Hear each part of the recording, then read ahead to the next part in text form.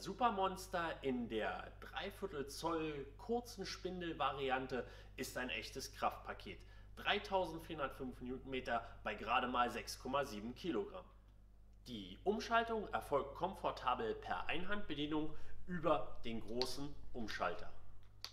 Im unteren Bereich des Geräts befindet sich ein Drehknopf zur Reduzierung der Leistung im Anzugsmoment. Zudem wird die Abluft hier komfortabel vom Bediener weg herausgeführt. Geliefert wird das Gerät bereits mit Druckluftanschlussnippel, es kann aber auch direkt mit der Luftleitung verbunden werden. Das robuste Doppelhammerschlagwerk und der Hochleistungsdruckluftmotor sorgen für eine lange Lebensdauer.